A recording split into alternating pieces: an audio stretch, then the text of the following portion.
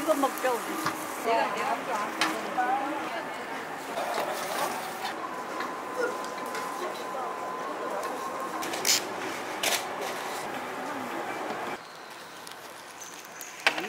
소개 좀 해주세요. 네, 그 공항동에서 오래 살고 있는 안민호라고 하고요. 저희 와이프랑 같이 참여를 했습니다.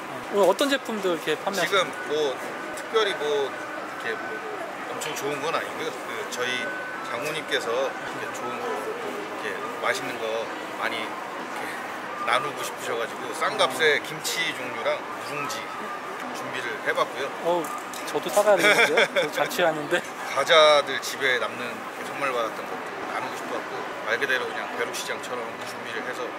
오랫동안 참여하신 거로 들었는데요. 참여하시면 어떤 게 좋은 것 같으세요? 아 처음에 이거 참여했을 때는 그냥 자연스럽게 지나가다가 주민센터에서 이런 플리마켓을 처음에 개최를 한다고 해서 관심 있게 보다가 아 그러면 말 그대로 어, 집에 오래된 물건들이나 안 쓰는 물건들을 저렴하게 내놓고 말 그대로 이렇게 어, 외국에서 야드셀이라고 하는 것처럼 여러 가지 효과를 얻을 수 있잖아요. 뭐 돈, 돈도 조금 벌 수 있고 그 다음에 그냥 좋은 물건들 안 쓰는 물건들 이렇게 재활용도 하고 다른 사람들한테 나눌 수도 있으니까 참여해보자 해서 시작을 했는데 하다 보니까 재밌어가지고 저희 장모님이랑 음식 같은 거 해가지고 가서 나누라고 하셔가지고 이렇게 여러 가지 판매를 하고 있습니다.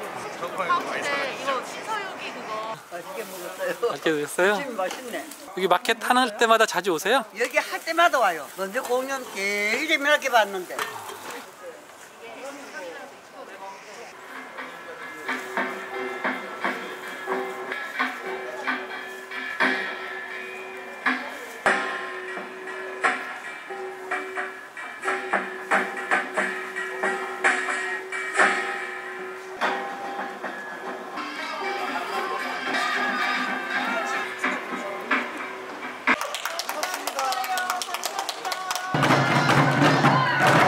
행사 참가해 보시니까 어떠세요? 어, 처음 참가해 보는 거라 좀 어색하긴 한데 그래도 네, 재밌어요. 소박하고 음식도 맛있어요.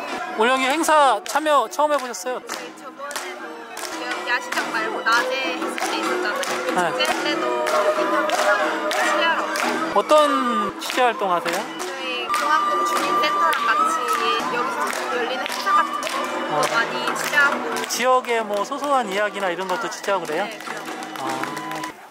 아, 여기 있어. 안녕하세요. 예. 오늘 여기 음식은 다 직접 같이 다 준비해 주신 거죠? 예, 지금 계속 이런 활동은 하시는 거예요? 예, 예. 아. 매달 하루 한 번씩, 한 달에 한 번씩 하고 있습니다. 요거 마켓 있을 때마다. 예, 예. 아, 요 준비나 이런 거는 어떻게 하시는 거예요?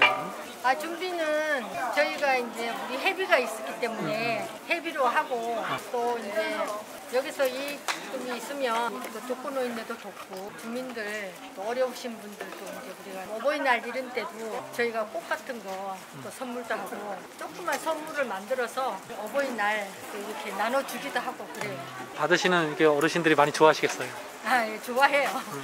너무 고맙다고. 자식들도 안 하는데 이렇게 받아서 고맙다고 이렇게 말씀하시고 계세요.